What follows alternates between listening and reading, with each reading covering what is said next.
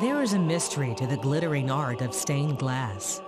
A basic substance, sand, is transformed by fire, colored with metallic salts and oxides, and set in patterns to glow from within. Stained glass windows are thought to have evolved from ancient cloisonne, mosaic, and jewelry making. Their historic home has been the church. They wanted them to be theologically correct, but they were also meant to tell a story because there were a lot of people um, in the early 1900s who didn't read, obviously. So you could look at those windows and you could kind of, you know, tell a whole story by looking at them. For centuries, obviously we're talking about Europe, uh, the stories that they saw in glass were the stories that, that nurtured people's imaginations and their religious zeal and stuff. And their heroes were Santa Ana or San Joaquin or God knows, and they would see stuff in glass. Perhaps the finest stained glass windows in Arizona are those of the nearly century-old St. Mary's Basilica in downtown Phoenix. They still tell stories to people every day, like this one of Jesus in the temple. They see him being respectfully heard by these elders. I mean, that's completely, he should be respectfully listening, and yet they're so wowed by the kid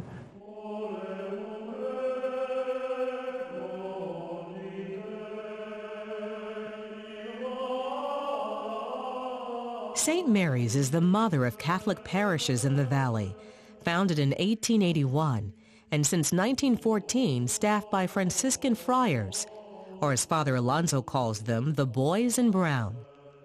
In the early 1900s, the windows at St. Mary's were crafted in St. Louis and brought here by their maker, Emil Frei. We tracked down the actual shop that turned them out and went to them. I think the grandson was still there. And, and so, yeah, they say that he brought them out.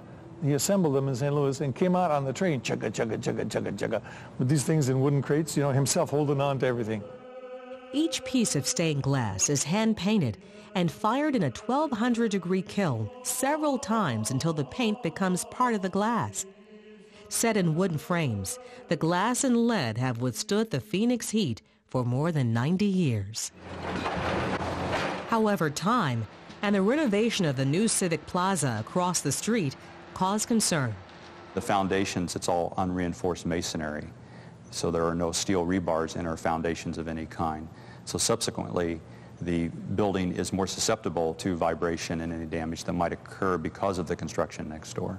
Art glass experts were called in to inspect the windows. These windows here in particular are one of the better sets I'd ever seen, seen them do. They're extraordinary windows. We found multiple bulging in the window where the window actually bows in and out. Uh, there were some cracked pieces, some broken out pieces. Uh, the frames are in need of, of uh, conditioning. They've cracked and dried out and repainted. Uh, we had some previous repairs that were done that were coming, coming undone that we had to redo. John Phillips and his craftsmen began the tricky procedure of removing the windows, then set up shop on site at St. Mary's. Usually about every 100, 125 years you need to re completely relet them. Take them apart piece by piece and replace all the lead. The windows at St. Mary's were generally in good condition. Part of having stained glass windows is you have to maintain them.